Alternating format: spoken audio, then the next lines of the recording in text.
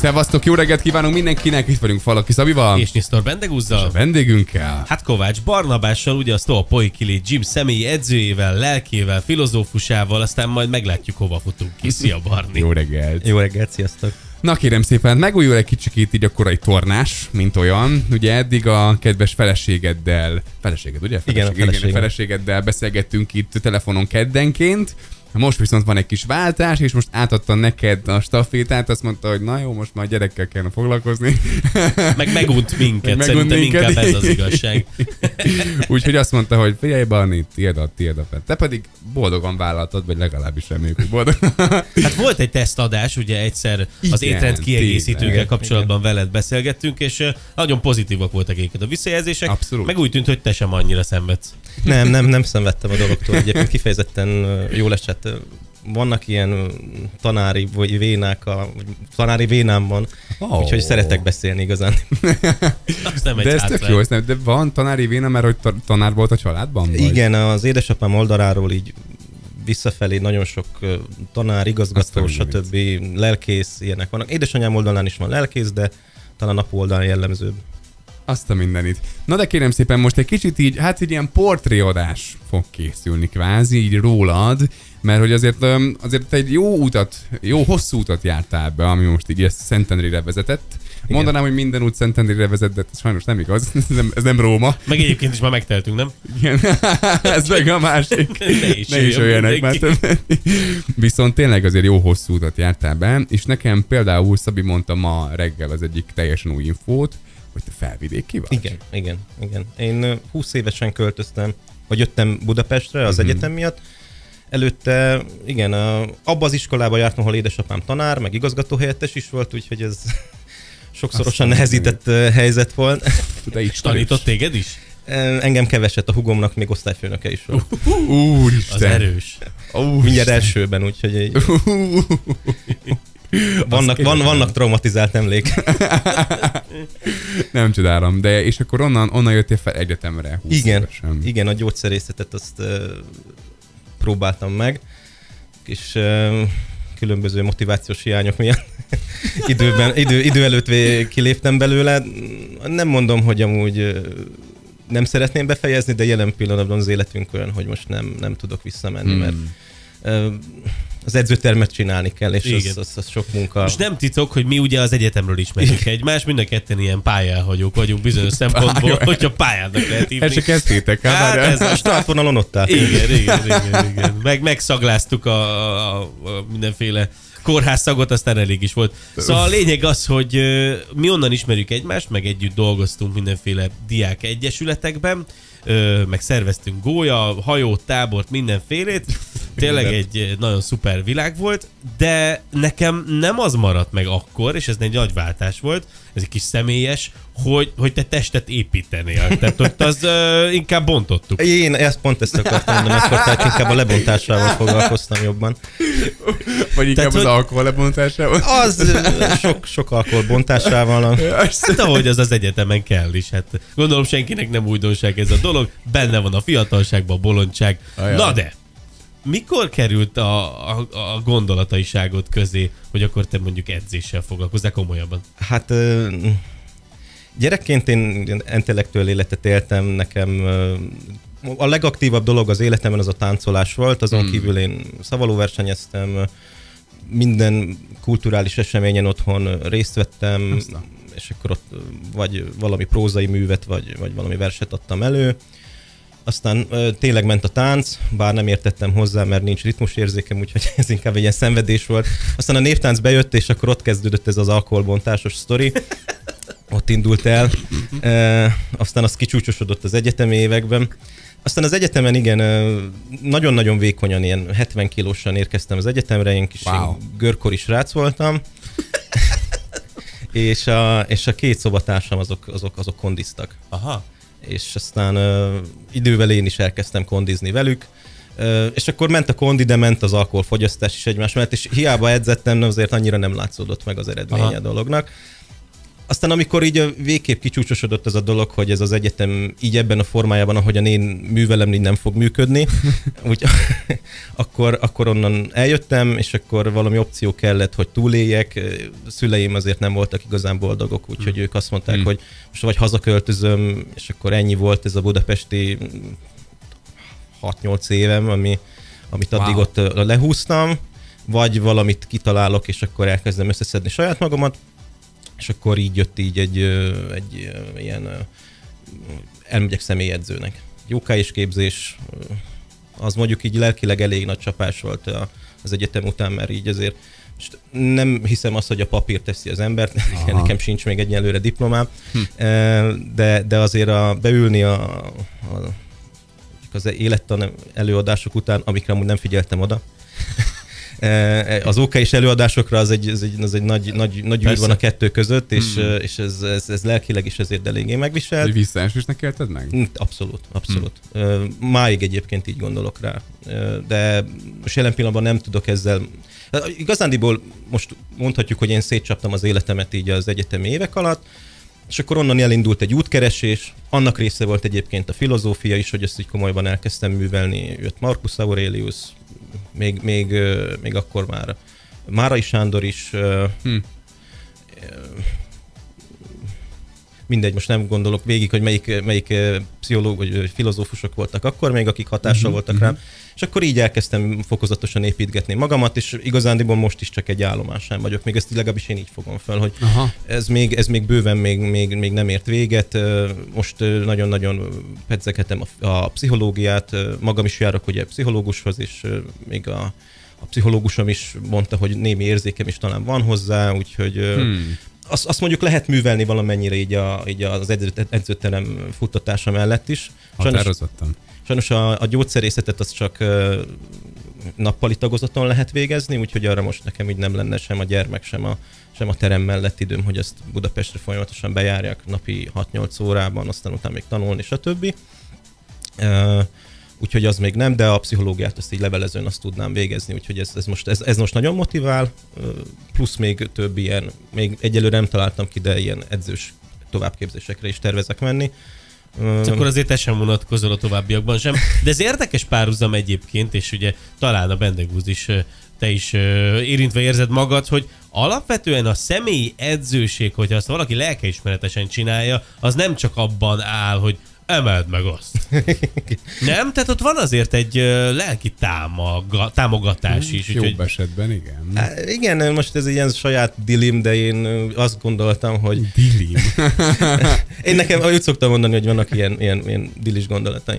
De, de az, hogy, az, hogy elképzeltem azt, hogy például a, mehetne így az edzés, és például a terápia együtt, a kettő egybe, és egy ilyen csokorban lenne a dolog. Hogy Integrálni. Igen, igen, igen. Felszabadulsz, mert edzel, és az endorfin termelése, feszültséget ki, ki tudod engedni, és közben egyébként meg ventilálsz Érdekes. szóban is, és akkor így az egészből egy ilyen, egy ilyen hibrid, egy ilyen egy újfajta dolog keletkezik. Hát ezért én nem, nagyon jó hangzik. Én is járok ugye Barnabáshoz, nem jellemző, hogy mi folyamatosan veszengnénk, de azért baráti beszélgetések Azok folyamatosan vannak, de látom azért ott a környezetemben, hogy nagyon sok mindenki éhezi ezt, hogy, hogy beszélgessen is Igen. a mozgás közti szünetekben, úgyhogy ez nem egy elvétendő ötlet. Hát erre nagyon kíváncsi lennék, már csak szakmailag is. Én meg ugye integrápsziológiát tanulok mellett, tehát hogy nekem ugyanez a fontos lenne, hogy így hogyan integráljuk ezt a kettőt, egy terápiás sessiont, és mondjuk a, nekem a műsorvezetés, neked meg ugye akkor így az edzés, tehát hogy egy fú, de érdekes gondolat, nagyon-nagyon tetszik, és, és biztos vagyok benne, hogy ha már ez így megfogalmazódott, akkor amikor mm, rálépsz erre az útra, hogy akkor a pszichológiát elsajátítod, és tanulmányaidba veszed, biztos vagyok benne, hogy ez egy működőképes mm, konstrukció lesz, és, és hát nagyon kíváncsi vagyok, hogy majd az embereknek milyen visszajelzéseik lesznek, de ez óriási. Ez milyen, tök, megint, megint milyen érdekes, és annyira szép számomra, hogy, hogy ugye onnan indultunk, hogy te felköltöztél Budapestre, és akkor Budapesten volt egy kis pár egyetemi éved, ugye a gyógyszerészeten, és akkor oda kötöttek ki jelen pillanatban, és hogy milyen jó, hogy így fogalmaztad, hogy ez egy állomás neked. Igen, igen.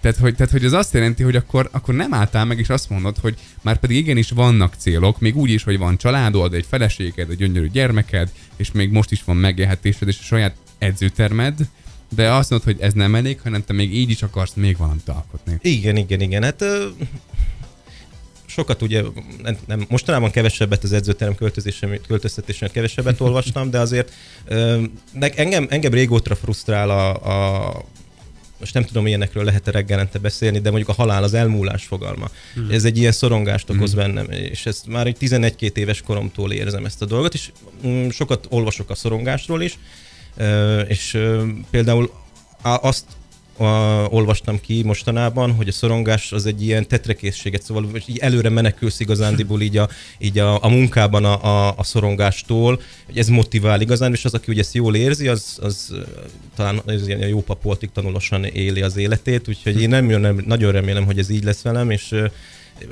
csomó terv van még az edzőterem kifuttatásában is, ezt szeretném, hogy több profilunk legyen, azt, hogy az élsportolótól kezdve a rehabilitációig mindennel foglalkozzunk, szóval én tíz éves távlatokban gondolkodom, de nem tudom meghekkelni az időt, úgyhogy csak így step by step üzemmódban mennek a dolgok. Most jelen pillanatban az a terv, hogy, hogy felvételt nyerjek majd jövőre a pszichológiára, és akkor, akkor ez egy ilyen következő állomás. Fú, de jó hangzik. Izgalmas, és uh, hát tanúsíthatom, mivel tényleg hétről hétre, hogyha éppen nem lustizom, ott vagyok, hogy szépen épül az új hely, hallom, hogy vannak tervek gyógytornáról, meg masszőrekről, igen, igen, a masszőr már. sok minden lesz nálatok, tök király. Ö, azért ne menjünk már el amellett, hogy te amellett, hogy, és többet nem mondom ki, hogy amellett, magad másokat edzel, magadat is edzed, úgyhogy hát mondjuk, hogyha rád nézünk, ezt kikövetkezteti az ember. Igen, uh, intimidating, ez a legjobb szó rád.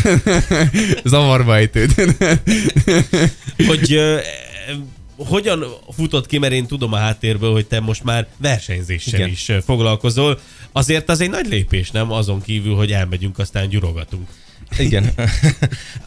mindig is, hát nem mindig is, ugye az elmúlt tíz évben azért én elég aktívan járom az edzőtermeket. Régebben én azt nem mondtam, hogy edzek, hanem csak gyúrok, mert ezt én szeretek azért szigorú lenni önmagammal, és az, az még nem takarta le rendesen az edzés fogalmát, amit én régebben csináltam. De aztán ez egyébként elkezdett egy kicsit komolyabb formát ölteni, és évről évre azért egyre jobban ment, mm. de mhm. ez inkább egy ilyen bodybuilder dolog volt még, vagy fitness, hogy nevezzük, ahogyan szeretnénk. Viszont nem voltak olyan versenyző céljaim még akkor, mert ezt a nekem nincs semmi bajom a gatyára vetkőzéssel és annak a mutogatásával. Én nem élem ezt a dolgot. Számomra ez nekem saját magam szempontjából ez visszás. Én nem szeretném magamat így viszont látni így a színpadon. Ö, és így nem volt bennem a féle motiváció, hogy versenyezzek. Így, így emiatt így, a, így ez, a, a testépítést is kicsit úgy, nem mondom, hogy megrekedt, de így egy ment ilyen robotszerűen végezgettem. És aztán így tavaly láttam egy hirdetést, most reklámot nem mondok, egy erőemelő edzőképzést, Aha. ami pont így egy évvel ezelőtt indult, és akkor úgy gondoltam, hogy hát edző vagyok, én lehetnék erőemelő edző is, elmentem wow. erre a képzésre, és ez Magyarország az egyik leg elfogadottabb erőemelő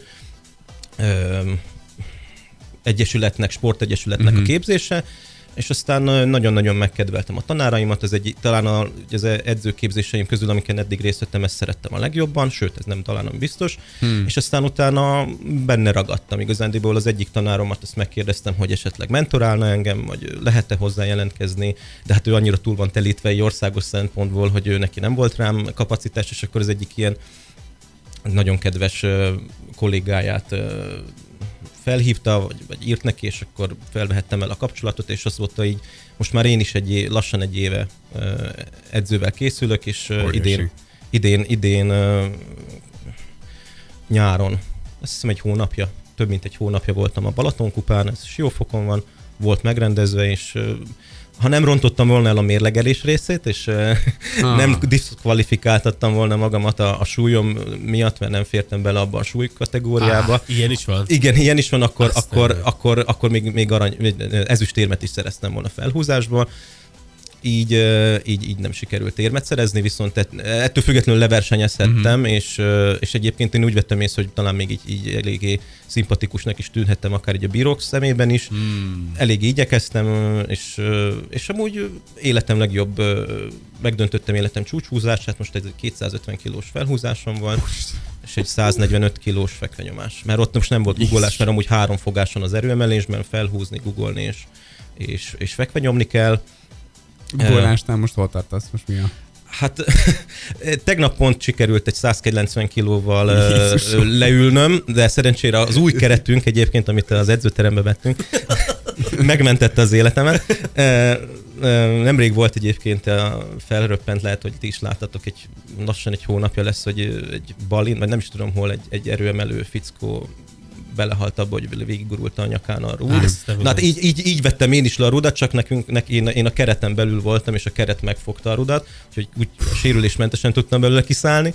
E, viszont másodjára megint megpróbáltam, akkor sikerült a 190, és, a- és így házon belül egyszer ilyen versenyszituációt még a verseny előtt csináltunk, akkor ilyen 205 kilós gugolásom volt.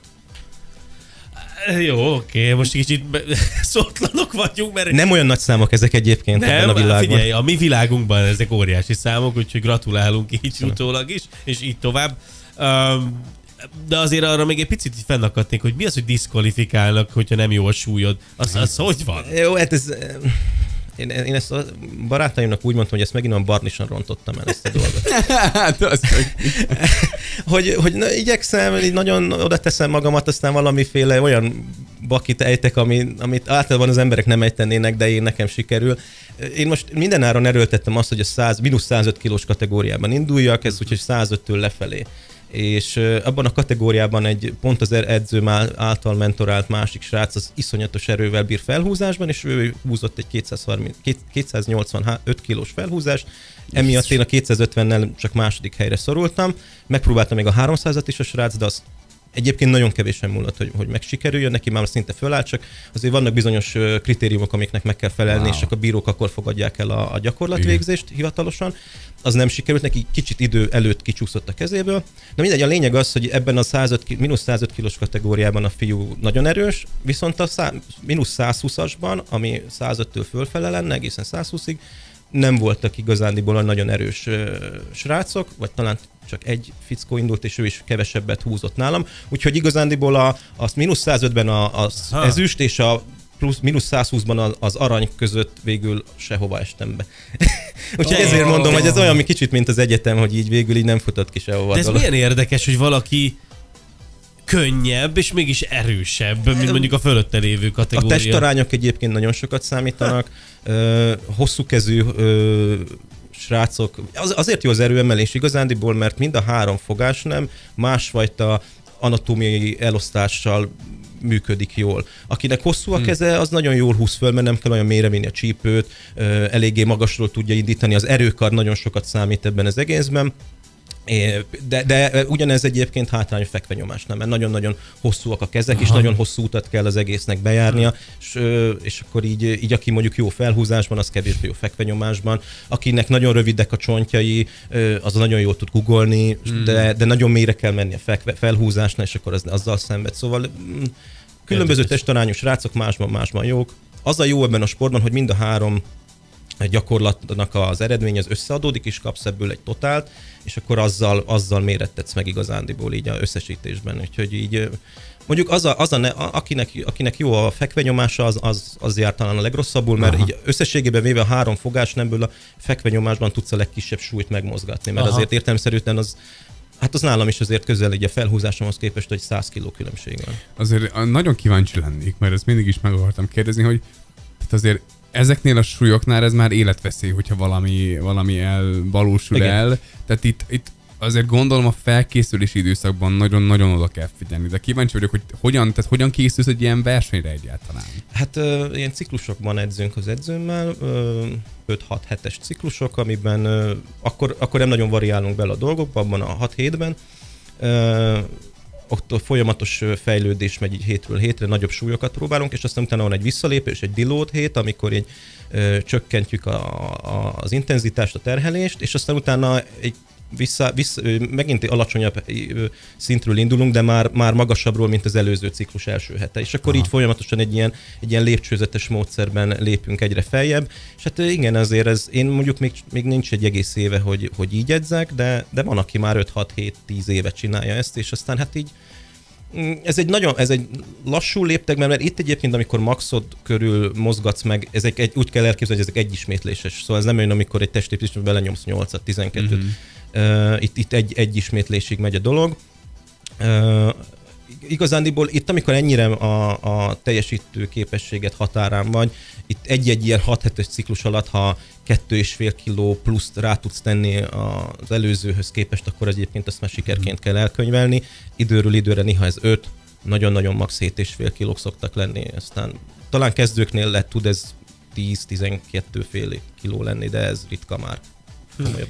Arra meg ezzel nagyon kíváncsi lennék, hogy hát én laikusként állok az erőemeléshez, mert ott már számomra irálisan nagy számokat látok. Bár, hogy hallottuk, ezek kicsik. Igen, igen. Én szerintem ezek kicsik, de... de hogy, de hogy, de hogyan kerülitek el a sérvet például? A, a technika nagyon fontos, mert azt kell tudni egyébként, ugye, hogy itt vannak ilyen mítoszok például arról, hogy milyen felszerelésekkel edzel, és akkor a felszerelés megvéd téged, mint az erőemelő, stb., hogy az ugye sérvet sér mentesíti, mert hogy összetart, de, de nem tud egy öv ekkora súlynál valóban segítséget nyújtani. Az öv nem, nem a sérverkelőrése miatt kell, hanem az öv az egy külső falat képez körülötted, amiben te belefeszíted magad. Hmm. Igazándiból, amikor ö, kive, kiemeled a súlyt, mindegy az, hogy melyik fajtáról van szó. Szóval mondjuk én fekvenyomáshoz nem használok követ, van, aki igen, csak a googoláshoz és a, a felhúzáshoz, akkor így igazán belefeszítem magamat az övbe. Nem olyan szorosan veszük föl az övet, mint ahogyan ezt erő, egy bodybuilderek szokták így esetleg videókon láthatjátok, és akkor alig fér el benne alapból, hanem, hanem ez egy kicsit lazábra van véve, a két hüvelykújadnak érdemes beférnie hmm. még a, a, a pocak meg az öv közé,